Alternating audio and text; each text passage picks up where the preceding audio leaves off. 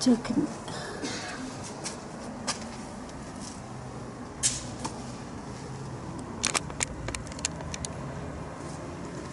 Това е в косъм на жена е направена роза. Това е косъм, да го Сериозно? Да. Гледай си под микроскоп. А, не, с просто око не се вижда нищо. Има ли обяснение как е направено Не това? знам, то 59-63 година, 70 някаква година, то преди 40-50 години е правилно. Техниката тогава е била стара. А това най-горе с камилите какво е? Това го нямаше да не сменят явно изложбата. А.